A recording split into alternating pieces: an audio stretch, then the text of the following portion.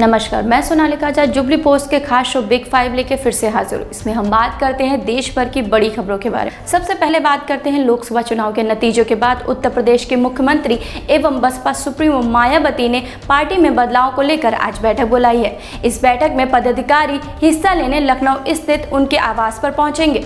साथ ही 12 सीटों पर होने वाले उपचुनाव की तैयारी को लेकर भी रणनीतियाँ बनेंगी। बिहार में चमकी बुखार का कहर जारी है। अब तक इसमें मरने वाले बच्चों की संख्या एक सौ सैंतालीस हो चुकी है।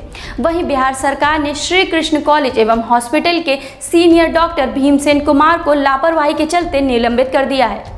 पूर्व केंद्रीय मंत्री मेनका गांधी और उनके बेटे बीजेपी सांसद वरुण गांधी अपने पिता की पुण्यतिथि पर दिल्ली के शांति भवन में श्रद्धांजलि देने पहुँचे। उनके साथ वहाँ पर कई बड़े नेता मौजूद थे।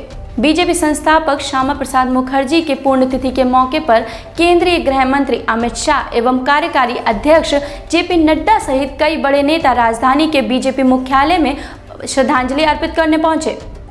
इस दौरान जेपी नड्डा ने पूर्व प्रधानमंत्री जवाहरलाल नेहरू के ऊपर श्यामा प्रसाद मुखर्जी की हत्या के जाँच के आदेश न देने का आरोप लगाया। सपा सुप्रीमो मुलायम सिंह यादव की शनिवार शाम को तबियत बिगड़ने से उनको गुरुग्राम के विदांता अस्पताल में भर्ती कराया गया। रविवार सुबह उनकी तबियत में सुधार होने के बाद अब उन्हें डिस्चार्ज कर दिया गया है।